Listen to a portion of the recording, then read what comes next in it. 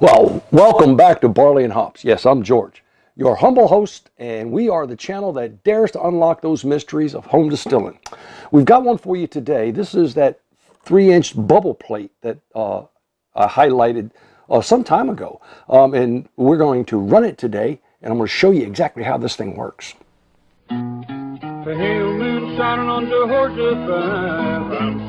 Now that most of you are back with us, um, you know that, of course, subscribing is always helpful. Always helpful.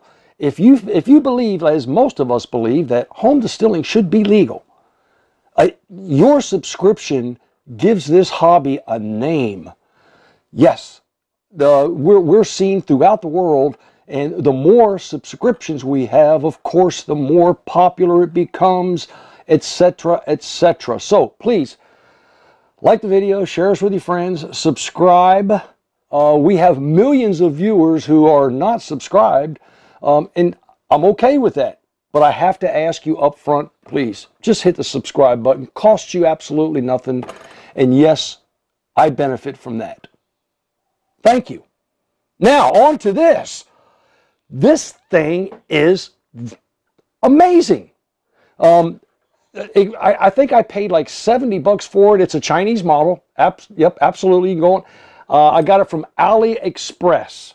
Uh, please don't ask me for the link. I, I, I don't know where it's at, but you can go on AliExpress and these things are available. Uh, they come in many different sizes. You can get a two inch, a three inch, a four inch, whatever it is you're looking for. I picked the three inch because I have a three inch column on my eight gallon still. And I've got a 3500 watt element in there on 240 volts that I'm going to run through my PID controller as I always do. Um, and I've also decided I'm going to make myself one of them high speed PIDs. I get jealous every time I ship one out. Uh, now, um, what you'll also need with this is a deflagmator, a three inch deflagmator. Uh, and that's that's what it looks like. It's just a, looks like a great big Gatling gun. Um, and you know, I've got cold water in, cold water out. And this is my valve I put on here. What's that for? Exactly, it's for controlling the flow of water through the deflagmator. Okay? You need to be able to control that water flow because the flow through your deflagmator is going to control the amount of condensing that happens above your bubble plates. So this goes right up here. Now you'll also notice, I've got to bring this up, you'll notice the offset between here and here. Um, that should be your first giveaway on which direction, how do I orient this thing? Does it go that way? Or does this thing turn over and does it go this way?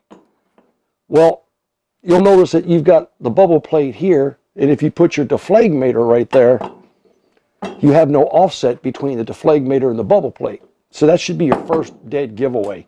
Uh, the other one is, is rather simply understand, and I've got this already, I've, I've taken off the three bolts on the top that hold this thing together. And it disassembles real easy for cleaning. And if we take this out, and I'll, I'll just remove this bubble plate, that's a good seal. Okay, this bubble plate is a stainless steel plate. Some come in copper. Uh, this one's made out of stainless steel, but it has a copper standoffs. Now, this one's called a downcomer. Okay, uh, that's the, the, the common terminology used for this one. And it's the only, only one that goes down, uh, and the other three go up. I guess you can call them up goers if you want to. I really don't have a preference. I just know that this one is known as the downcomer. Now, the way these things operate is that your distillate from the top uh, starts to move up and it condenses in your deflagmator and it starts to drop back down. And then it does what we call load a plate. So it loads this plate with a lot of liquid. And that liquid starts to rise in here and it goes over top of this portion of the hub known as the downcomer. And then it drains down. It starts to boil again or vaporize in this small cup, but in the very same time in the center, it just drips out and it goes down and it loads your second plate. And your second plate does the same thing to your third plate. And your third plate, of course, all the way down, regardless of how many plates you have, it loads them that way.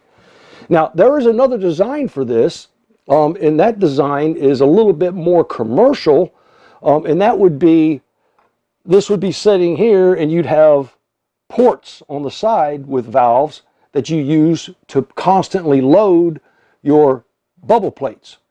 Um, that's for a really large operation, but for a Honda distiller, you let the plates, they will load themselves. Believe me. Uh, and you'll see that real shortly as we run this because we're going to actually put this together. We're going to attach it to the still. We're going to heat it up and, and run it completely. Now, one other thing, I want to take one of these apart. And all I'm going to do is just use this Allen wrench and take this screw off the top of one of the upgoers. and you'll see how this is designed. So you'll see that, and you'll see that there's an opening there, and this sits right on top.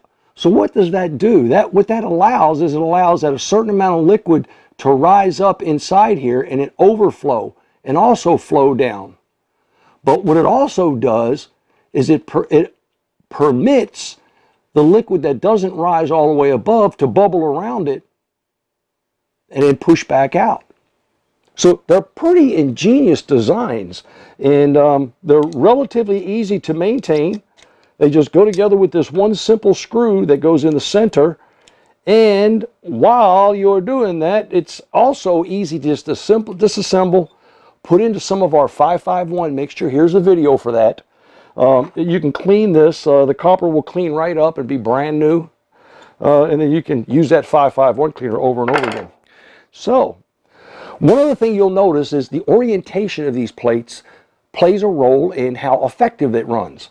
Um, and in this particular case, we've already discussed it. The three go up and one goes down. Um, this one is the downcomer is on this side.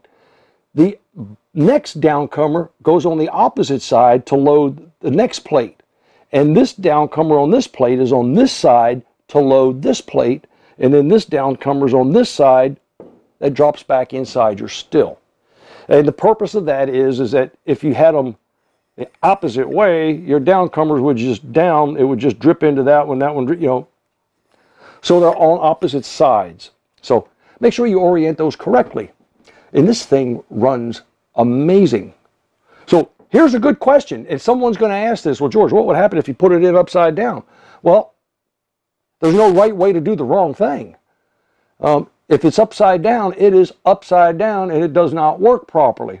What happens is, is that you've got this sitting up here and you've got your deflagmator right there and then all of a sudden your deflagmator starts to fill up with water or with your mash. And what happens when the deflagmator fills up with mash? It starts to puke. So yes, it makes a difference. There's a right way to put it on here and by golly, there's a wrong way. Now, one last thing before we get this thing running, because I'm going to have this all hooked up, I'm going to have it preheated, uh, and then we're going to show you how it runs. That takes us a couple of minutes. Uh, I would be remiss if I did not show you something. I want to. Uh, this is offer a tip. Um, this is, happens, and a lot of people will use these. These are the what? They're Scotch-Brite copper, copper scrubbers. I know. There you go. somebody's going to turn it off right now and go out and get some. Don't buy these. They're really, really inexpensive. If you read it, it says copper coated scrubbing pads. Um, and it should make you wonder, you know what copper does. Copper tarnishes. And this looks like some really nice shiny copper. Uh, and if it's still shiny inside this bag that's not really airtight and it hasn't corroded, is it really copper? And if it's just copper coated, uh, what do you think happens during the distillation process? Yes, that starts to break down and flake off, so please don't call me and say, George, I got these little flakes inside my still, uh, inside my mat, uh, in, my, in my spirit. It, it's, it's bouncing around inside my jar. Where did that come from? Okay? Thought I'd just offer that. Let your conscience be your guide. Yes. All right, Well, I've got my chiller working in the background, so you'll hear that. Uh, I hope that doesn't interrupt you. But now you'll see that when I've got this oriented right, you, you notice how this plate fills and it fills that plate, it fills that plate, it fills that plate. Now what, look at all this bubbling action that's taking place. Now I'm going to turn my deflagmator down just a little bit because I've got, what I have is full condensing going on right here. And I just want that to dance. And then start to produce. Now, you, now it's pretty it's pretty obvious to watch this now, you can see how each plate is loading. Um, and I've got a separate distillation that happens at each level. If you'll notice this, take this one for example. Uh, everything that's ri- that has risen and risen through this plate and hit the deflagmator is dropping back down, and it's re vaporizing here and that's all those bubbles. It's re-vaporizing and all. That's just water, and it's dropping back down to the next plate, and it's doing the same thing as it works its way down. And anything left over that I don't want is dropping back down in the column. Um, and if you look close, you can see it actually dripping right out of the deflagmator, and it's keeping those plates loaded. So we're just going to allow that to run. I've got this thing set at 175 degrees. Uh, right now it's 155.1. I'm just going to let it run. I can probably, might want to just turn down my deflagmator just a little bit. There we go. Turn that down just a little bit and sit back and let it, let it run.